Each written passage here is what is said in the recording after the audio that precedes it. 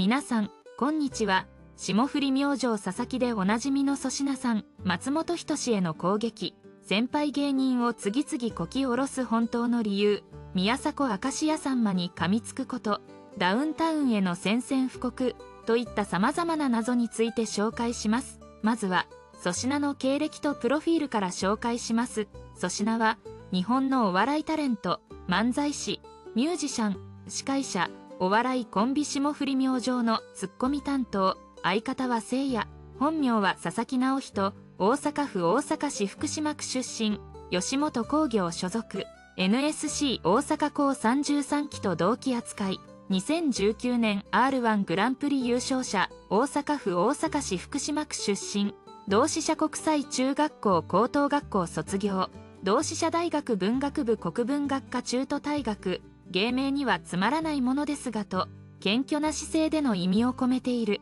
実家は1971年創業の震災橋の焼肉屋みき2009年同志社国際高等学校1年生の時に R1 グランプリに初出場。結果は1回戦敗退に終わる。この R1 の1回戦が芸人としての初舞台であった。同級生とのコンビスペードを結成。ハイスクール漫才に出場し決勝進出。当時はボケ担当だった。スペード時代の相方は現在関西テレビ放送に勤務している。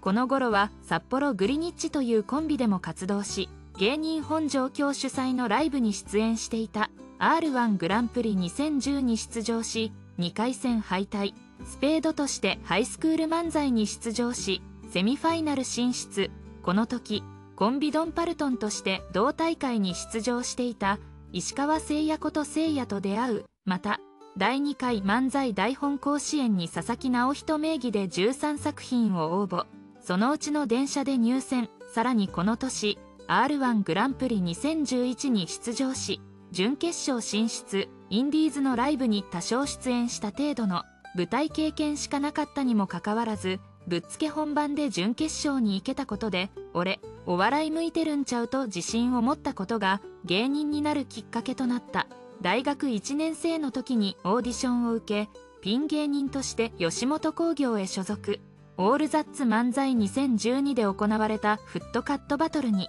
番組史上最年少である19歳で初出場し優勝。当初はザズイとのコンビ常夏ボーイズを結成する予定だったがその後近畿大学の学生だったせいやと2013年1月にお笑いコンビ霜降り明星を結成したためザズイとのコンビは解散することになった2018年3月。r 1グランプリの決勝に初進出した相方のせいやと共に決勝進出を果たし同じ年にコンビ揃っての決勝進出は史上初となったキャッチコピーはめくるめくフリップ王子同年12月2日。コンビで出場した m 1グランプリ2018にて優勝。翌年の r 1グランプリ2019でも2年続けて決勝に進出。同大会では粗品がネタを披露した B ブロックとファイナルステージで2回とも得票数が同数となったが票を入れた審査員の多い方が勝者となるルールに伴い優勝を果たした。キャッチコピーは前年に m 1グランプリを優勝したことから2冠を狙うフリップ王子と変わっている優勝後の会見で圧勝した方がかっこよかった。怪しさを残したのは心残りと語った。また前年の m 1グランプリ優勝と合わせて史上初の m 1と r 1の2冠を達成した。2020年5月3日にビームが打てたらいいのにでボカロ P デビューした。2020年末発表の2020タレント番組出演本数ランキングでは出演番組数408番組で9位初のトップ10ランクインとなった。2021年7月3日太鼓の達人の20周年アンバサダーに就任。各方面における広報活動のほか自身が制作した楽曲乱数調整のリバースシンデレラ怪獣少女は火を吹かないがゲーム内に収録された。また20周年記念楽曲として大好きな太鼓の音も制作。いずれも楽曲の鬼裏譜面は粗品の制作である。2021年10月9日に放送されたオールスター感謝祭21週にて冒頭3つのピリオドで連続してピリオドチャンピオンに輝いた。その後も正解を連発し総合結果はウエンツエイジ柔道家のウルフ・アロンに続く3位に輝き賞金50万円を獲得した。2021年12月30日。以前より交際していた秋山エリカと結婚したことを霜降り明星の YouTube 公式チャンネル霜降りチューブの配信内で発表した2022年3月25日霜降り明星の「オールナイトニッポン」にて子供がいることを突然明かし話題となった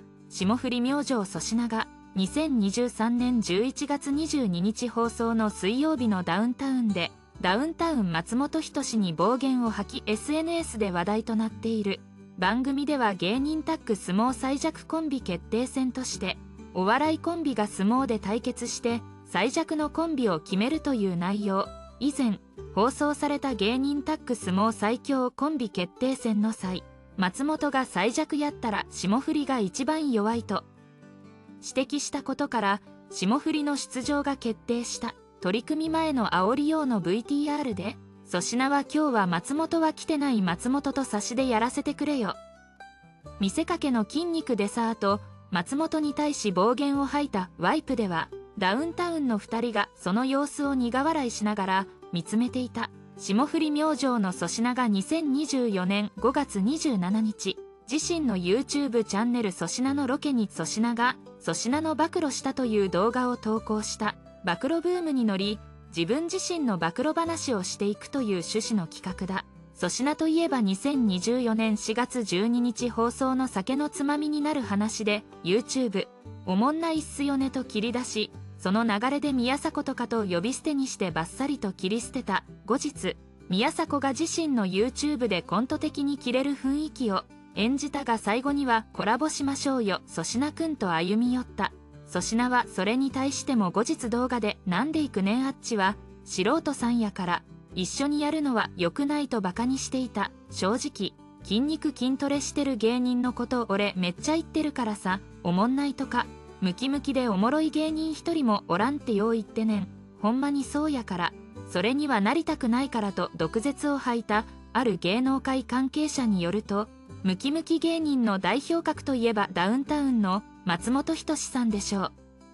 現在週刊誌との訴訟を抱えて活動休止していますが本人は一日も早く芸能界に戻りたいと願っているあれほどの大物ですから訴訟の行方次第では芸能界を再び牛耳る可能性もある中粗品さんは名指しはせずとも天才と言われる松本さんをおもんないとバカにして喧嘩を。売ったも同然です。松本さんと二度と共演しないとしても相方の浜田雅俊さんは現在もバリバリ活躍しているわけで相当自分に自信を持っている証拠ですね。芸人で史上初めて m 1と r 1を両方制した粗品だが面白いやつが正義と言わんばかりに先輩に見つきまくりだ。タレント明石家さんまが2024年6月8日深夜放送の大阪 MBS ラジオヤングタウン土曜日に出演。激化している霜降り明星粗品と元雨上がり決死隊で YouTuber の宮迫博之とのバトルに触れ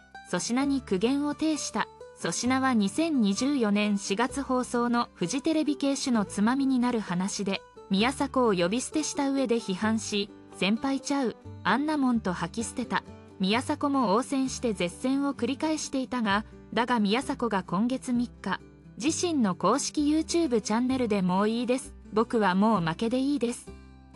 すごいすごいと粗品に白旗を上げていたこのバトルにさんまはあれ。どういう喧嘩か知らんねんけども俺は最初2人組んで狙いでやってると思ったと言及した。さらに「もうやめます」って宮迫が言いよったやろ。負けでいいですとか言いよったから。やっぱりこいつら2人軍どんねやと思ってと説明。その上でけどもマジやったら我踊り次世代芸能界では考えられない。後輩が先輩をっていう吉本じゃないって言ったってお笑い芸人は先輩後輩やから盾やからなだから先輩に対してああいうことを言うっていうのは本当は間違いやねんけどもと粗品に苦言を呈した一方で粗品他もやっとるよね。そういう戦法やな粗品のと一連の行動が粗品のやり口であるとも推察。そういうのが再生回数伸びんねんやろ。やから今度粗品に会うたら聞いてみようと思ってどういう意図か俺が言うなら言うで言ってあげようと思ってる。粗品もどっちも仲間なんでと仲裁に入る意思があることも明かした YouTube のための戦略なのかガチなのかについては今度粗品に会ったら聞いてみようと思ってんねん。どういう意図なのかと話すも粗品も仲間なんで。どっちも仲間なんでと両者への配慮を見せていたあるテレビ誌ライターによるととはいえさんまからすると宮迫とは新人時代の頃から34年近い付き合いがあり仲間の期間が粗品とは比較にならないほど長いです。最後までご視聴いただきありがとうございました。何かございましたらコメントください。よかったら高評価とチャンネル登録もよろしくお願いします。ではまた次回でお会いしましょう。